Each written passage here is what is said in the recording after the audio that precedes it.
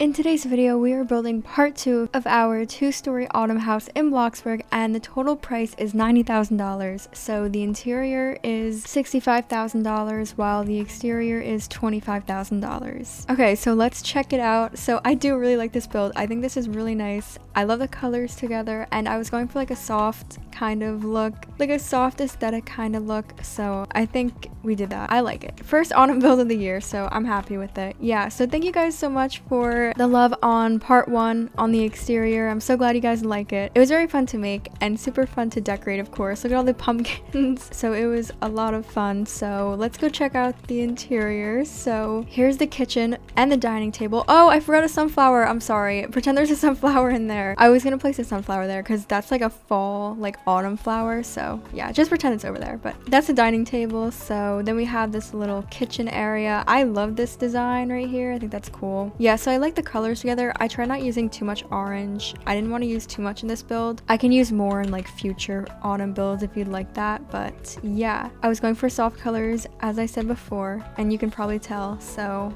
yeah, some whites, some grays. So here's the living room. I think this is so cozy. I just love it. Like, I love the colors, like the white with the orange, and then the cozy fireplace, and like the warm yellowish orange glow of the candle and the fireplace. Yeah, so I like this living room a lot. I think it's super cozy, super nice. So over here is our first bathroom downstairs. It's pretty simple. You have a lot of room to walk around in, so that's why this house is like pretty nice for role plays, I'd say. So if you want to get started started on like seasonal role plays, feel free to rebuild this house. It has lots of rooms, tons of space, as you can see. So here's the backyard, right outside your garage. So yeah, we have a little table out here, some fancy string lights, yeah, and a grill, of course, if you want to have like a seasonal cookout. I don't know what you would cook out there. I don't even know. You don't really grill outside. Like, you don't really have barbecues in the fall, I don't think. Okay, so up here...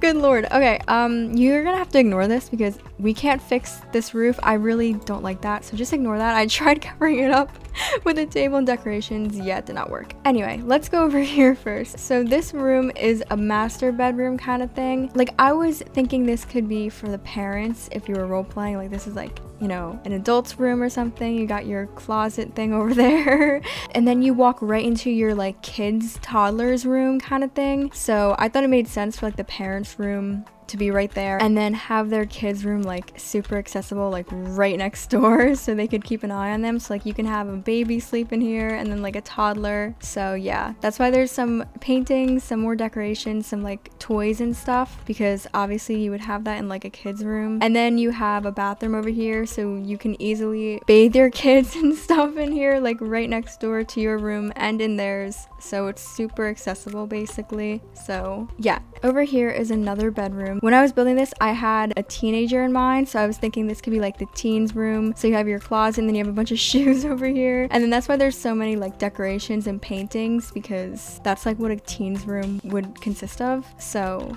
yeah, very spacious too. You can walk around, plenty of room, love it. And then they have their own personal bathroom. I love this bathroom. It's so simple, but like cozy, I guess. yeah, so I really like this bathroom. Pretty nice. So we go out here and this is our final room, which is our final bedroom. I was thinking this could be for another like kid or a teen as well, like an older teen maybe. Not as many decorations because they're more mature maybe. I don't know. I mean, I can't really say that because I have like Nintendo plushies all around my room. I wouldn't say I'm a little little toddler. So yeah, that's pretty much our house. I'm happy with it. I think it looks really nice. So it was super fun to make and decorate. So I'm glad you guys like it as well. Please let me know your thoughts on the interior. Let me know your favorite room. Comment below what your favorite room is. Mine's probably like the kitchen, I think. I really like making kitchens. I'm sorry for no voiceover in this video. It took me a while to build and I wanted to get it out as soon as possible. So next video will have full voiceover, I promise. So I'll let you go start building and I will see y'all in my next video. Love you guys. Bye.